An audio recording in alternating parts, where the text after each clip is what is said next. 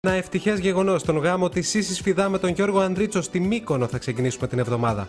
Ο γάμος τελέστηκε σε ένα εκκλησάκι μέσα σε μια έπαυλη στον Άγιο Ιωάννη και όχι στο εκκλησάκι του Άγιου Στεφάνου όπως έγραφε το προσκλητήριο που είχαν λάβει οι καλεσμένοι, οι οποίοι ενημερώθηκαν από τηλεφώνου για την αλλαγή του χώρου. Ρίξτε, ρίξτε.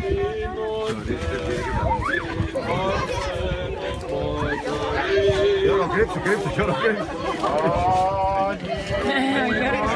Πολύ πλάκα. Έλα και κουμπάρος. Έλα και κουμπάρος.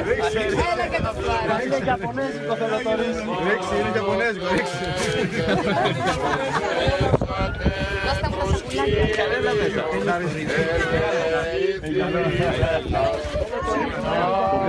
Στον τρίτο γύρο. Έχεις, Στον ε. τρίτο πονάει. Πάρε, πάρε. Σακούλα μαζί. Πάρε. Τελευταίο και καλύτερο. Η Σύση Φιδά φόρεσε έναν ηφικό με ένα αραχνοήφαντο δαντελένιο κομμάτι να καλύπτει τον ένα τη ώμο, με την έκπληξη να γίνεται στο γαμήλιο πάρτι, όταν το ίδιο νηφικό φόρεμα μεταμορφώθηκε σε μια μάξι στράπλες τουαλέτα. Στο πάρτι που ακολούθησε, ο γαμπρός έκανε την έκπληξη αφού έκανε πανηγυρική είσοδο πάνω σε μοτοσυκλέτα με οδηγό τον Τόνι Σφίνο.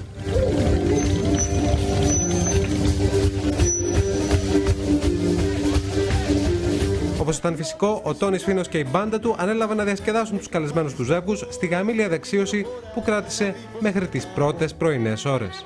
Με φωνάζουνε Τόνι Με φωνάζουνε Τόνι Στο μεταξύ, όπως έγινε γνωστό, δεν έλειψαν και τα παρατράγουδα όταν άνθρωποι της ιδιωτικής ασφάλειας του ξενοδοχείου όπου τελέστηκε το μυστήριο δεν επέτρεψαν σε δημοσιογράφους και φωτογράφους να περάσουν από δημόσιο δρόμο.